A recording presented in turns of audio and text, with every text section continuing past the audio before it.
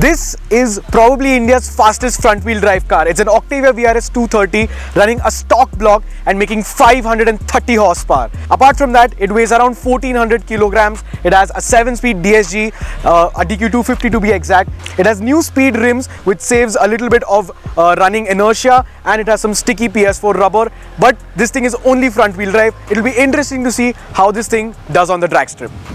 Now imagine that same setup on a smaller body with four-wheel drive and more power. This is a stage 3 Audi TT with the same turbo, same setup, but it's in a smaller body in the same engine and it's got much more power. Okay, maybe much more power was a bit of an exaggeration, but yes, the TT does make probably 10 20 horsepower more. Probably it is down to the tune why it is making more power, but the biggest advantage of the TT over the VRS is the Haldex all-wheel drive system. But if you've seen the other videos, you will remember that the launch control wasn't fully dialed in, so the launch isn't going to be as aggressive as Harmonix would have liked.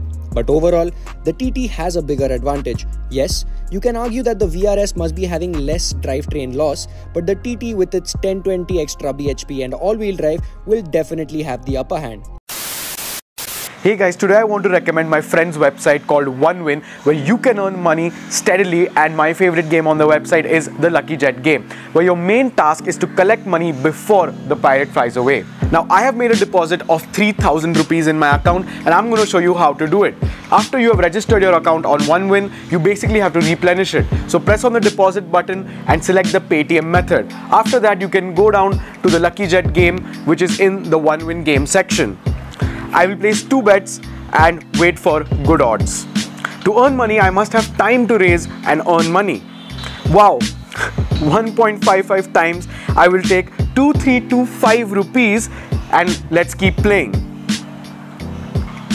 Wow guys, 2.13 times and I won 3195 rupees. Now I will do the withdrawal of my funds. You must log into your account and click withdrawal after which you select the method which is most convenient for you and indicate the amount. That's it now. I'll just have to wait for my money. I will leave the link for this game down in the description below and the guys from OneWin have been very generous and will give our subscribers a exclusive offer which is 25,000 rupees for your first deposit when you play the Lucky Jet game and you can use our promo code DRIVERS500 to redeem this offer. The registration, the link and everything is down in the description below or in a pinned comment. Oh my god, the money has already been deposited in my account. Now I can completely rest. This is a stage 2 BMW M340i. It has a CSF charge cooler, an MST intake and an MST decat downpipe. This thing now produces 480 horsepower, 650 to 700 newton meters of torque. It has an xDrive all-wheel drive system, launch control and it also has an 8-speed torque converter gearbox. Now I am pretty sure you have seen the video where we put this stage 2 M340i against a brand new Audi RS5. If you haven't, what are you doing? Go watch the video now.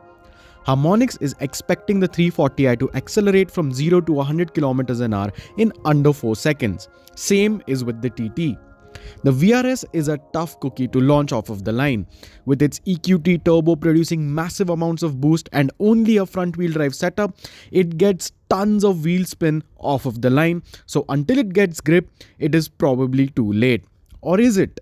Well, Harmonix is expecting the VRS to go from 0 to 100 km an hour in around 5 seconds. And well, we will have to see if the VRS can pull some magic out of its sleeve. And as a wildcard entry, how does BMW's locally produced 340i fare against a supercar killing Audi TT? Only one way to find out.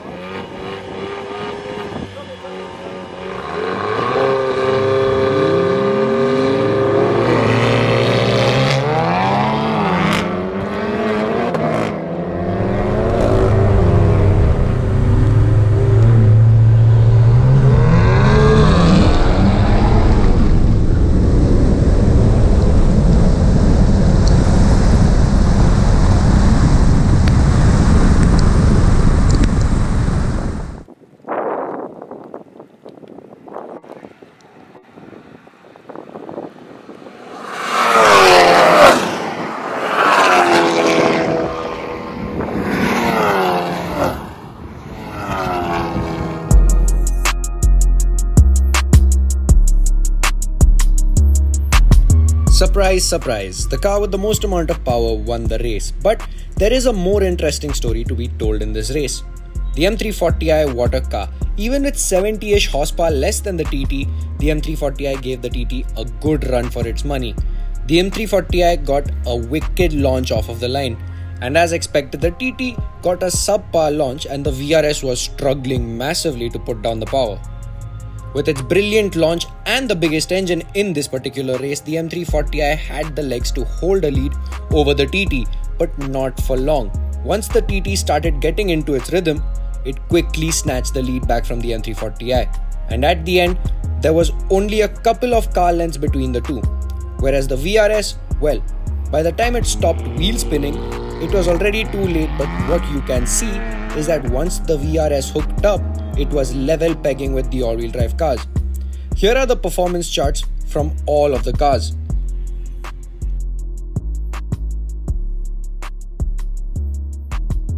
Yup, the Audi and the VRS are in a different league when it comes to 100 to 200 kilometers per hour, but the M340i still holds its own. But in the end, blue blooded horsepower, all wheel drive, and trick tuning, the TT has come out victorious. A big thank you to Harmonix for letting us film this series. It has been an absolute privilege to be working with you guys. Technically, this is the last episode of Half Mile Shootouts, but best believe we will be doing more of these drag races in the future. So, to not miss out any sort of content, subscribe to the channel and we will see you in the next one.